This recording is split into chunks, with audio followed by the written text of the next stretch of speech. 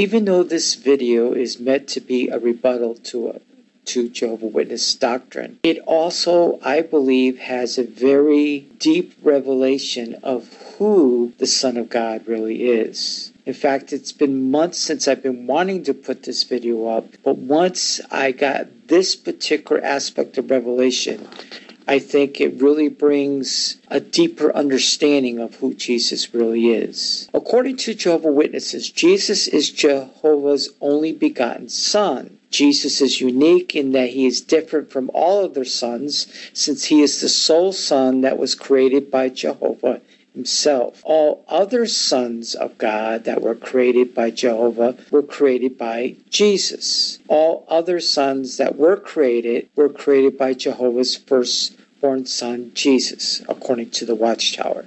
Since Jesus was created as the Son of God, Jesus could not be God himself. That is their logic, that is their thinking. Now John 3:16 is probably one of the most known passages of Scripture, yet there is more to this verse than meets the eye. Not only scholars, but even Jehovah Witnesses agree that Jesus is God's only begotten Son. However, the question that needs to be asked is when Jesus was begotten, and what does that mean? Have you ever thought about when did this happen? Now, Jehovah Witnesses will say, well, before the world began, Jehovah begot Jesus.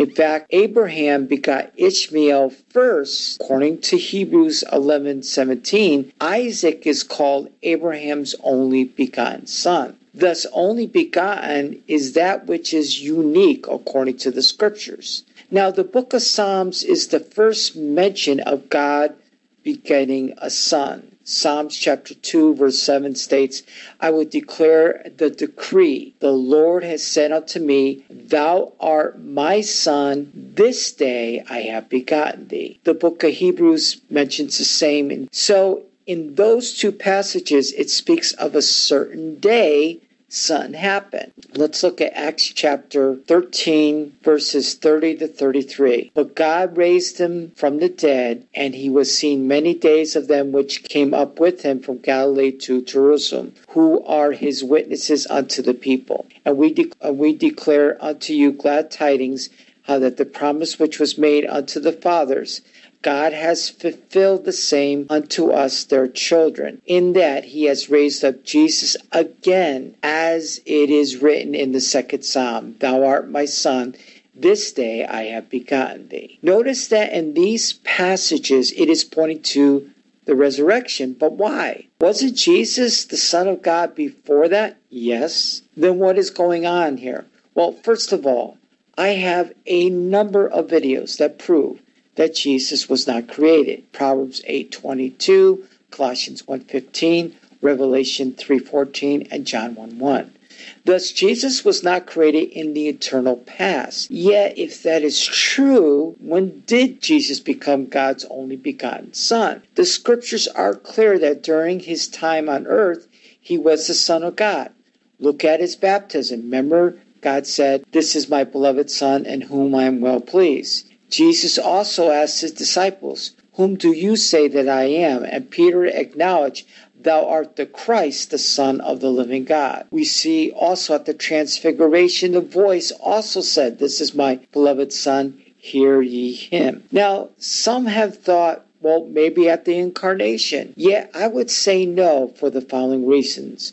According to the scriptures, Jesus is the exact likeness of the Father. Since his Father does not have a fleshly body, then how could Jesus be the exact likeness of his Father if his Father never had a fleshly body? So I don't see how he could become the Son of God at birth. See, his likeness is not according to the flesh, but that of the Spirit. For how can this refer to his incarnation as the exact likeness of his Father? Like I said before, his Father does does not have a fleshly body. So, if Jesus was not created in the eternal past, as Jehovah Witnesses believe, nor at his birth, then we are only left with two options. One, at the resurrection, in which a number of scriptures seem to point to this, or the eternal Son of God. Now, I believe that Jesus was always the eternal Son of God. Since he is the exact likeness of God, then he can only be the exact likeness of God if he were like him in every way. This would include being the self existent one.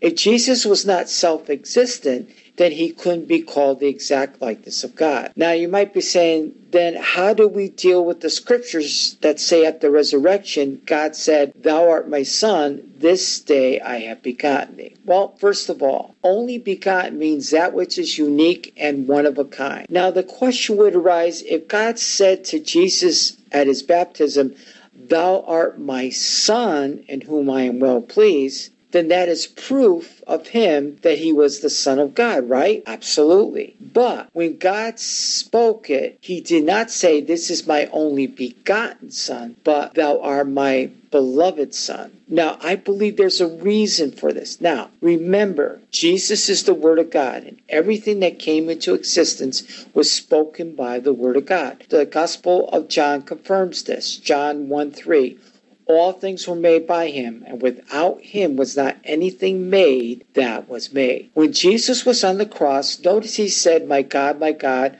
why hast thou forsaken me? At that moment, God the Father separated his unique relationship with his Son. He had to do it in order for Jesus to become sin for us who knew no sin. Now, here's where I believe in Jesus becoming not the Son of God, for he always was, but something much more profound. God the Father would declare, ready for this? Thou art my Son. That particular spoken decree is what caused Jesus to rise from the dead. And he would become the sole regenerated Son of God by the Father himself, in which would be the only time that the Father would speak life instead of the Son speaking life. Thus, as Jesus was declared the Son of God in Psalms 2, at his incarnation, at his baptism, at his transfiguration, and even in his at the crucifixion, Matthew 27 54, he is also declared the Son of God according to Romans 1 4 and Acts 1333 as the only regenerated or only begotten Son of God by the very decree of God the Father. Thus, only begotten is not speaking of Jesus being created by the power of God the Father, but God the Father spoke life into his Son, and thus he became the only regenerated or only begotten Son of God by the Father himself.